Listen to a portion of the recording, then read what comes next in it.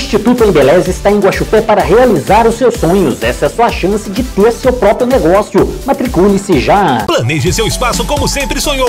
Venha dar forma aos seus sonhos em Florindo Móveis. Parcelamos em até 48 vezes. O Marmitex da Ivonete tem preços especiais em marmitas, salgados, bolos e pratos prontos. Bandidos assaltam um correspondente bancário em Jacuí. O prejuízo passou dos 30 mil reais.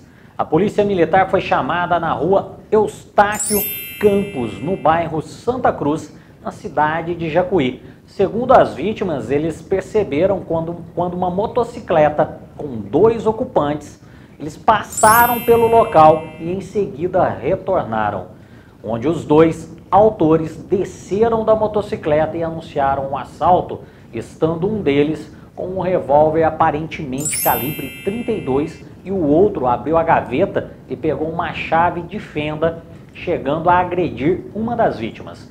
O suspeito pegou todo o dinheiro que estava no caixa da Agroqueiroz, que é correspondente bancário, e pegaram também a carteira com todo o dinheiro de um idoso e a bolsa de uma das vítimas e fugiram em seguida.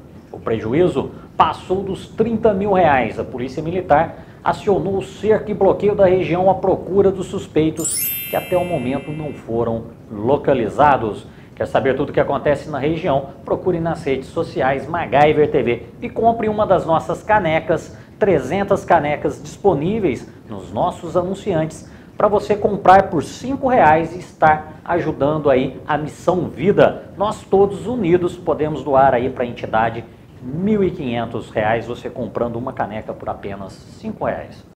E você, conhece Guaxupé? Então visite agora mesmo a cidade do turismo. Artesanatos, turismo religioso, de negócios, turismo rural com lindas fazendas e casarões centenários. Ah, e não para por aí. Em fevereiro temos a FEMAGRE. Em junho, a cidade recebe o Guaxupé Café Festival. Em julho, a Expo Agro e a belíssima exposição de orquídeas. Em dezembro, a chegada do Papai Noel e o Natal de Luz. Visite Guaxupé, venha se encantar com a beleza de nossa cidade.